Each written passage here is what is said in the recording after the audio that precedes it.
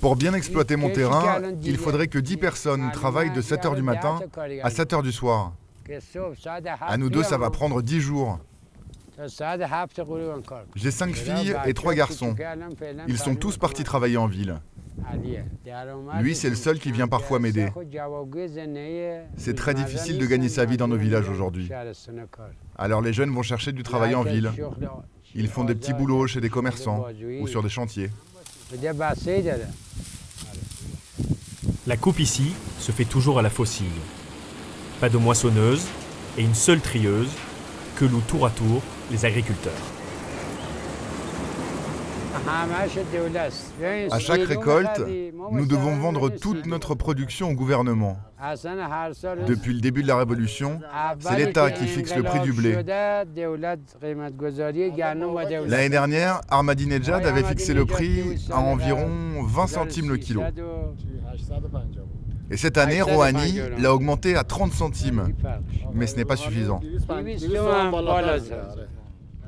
Si l'État décidait d'acheter le blé à 50 centimes le kilo, alors on pourrait s'en sortir.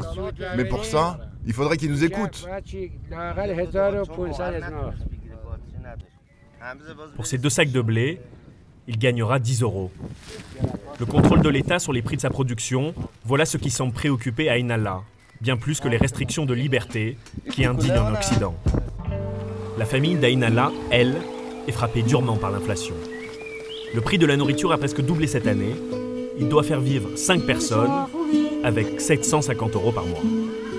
Ce qui les sauve de la faim, comme beaucoup d'habitants des campagnes, se trouve derrière leur maison, un simple potager. Marzia, la femme d'Ainallah, veille sur sa petite production. Cette année, on n'a pas eu beaucoup de chance. On a moins de légumes. On a quand même des haricots, des concombres, des tomates. On va s'en sortir.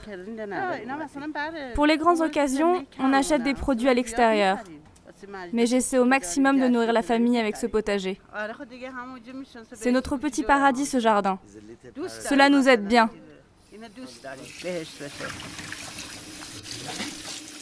Il y a une réussite que la famille reconnaît volontiers au régime, l'alimentation en gaz depuis 5 ans de toutes les maisons du village.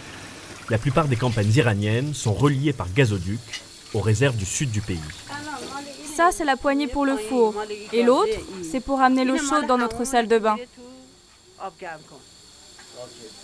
Mais ça vient d'où C'est du gaz, oui, qui arrive directement dans notre maison. Mais nous, les paysans, on paye le même prix que ceux qui vivent en ville. Et ça a encore augmenté maintenant. C'est 600 euros par an, alors que l'année dernière, on dépensait 250 euros maximum. Notre argent ne vaut plus rien. Oui, le gouvernement nous a donné des commodités. Et c'est plus simple pour nous. Mais la nourriture est beaucoup, beaucoup plus chère qu'avant. Et ce sont les pauvres comme nous qui subissent cette pression. Voilà ce qui se passe.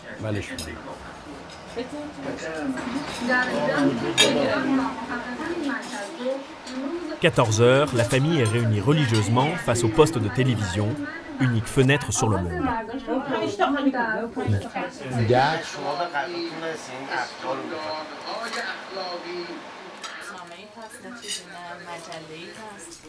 Mis à part les journaux télévisés, nous n'avons pas de source d'information.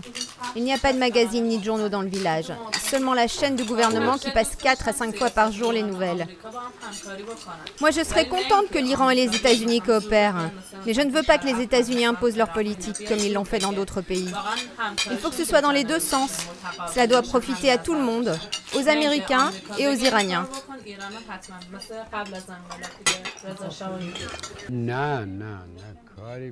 Toutes ces informations ne nous concernent pas. Qu'est-ce qu'on peut y faire Ces choses-là sont entre les mains des hommes politiques. Nous, nous sommes de simples villageois, des fermiers. Nous sommes seulement responsables de notre quotidien.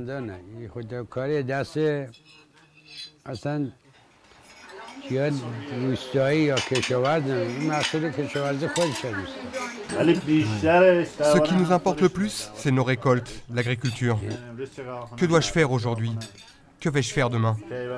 Aurons-nous de l'eau pour les champs? C'est ça qui est important pour nous.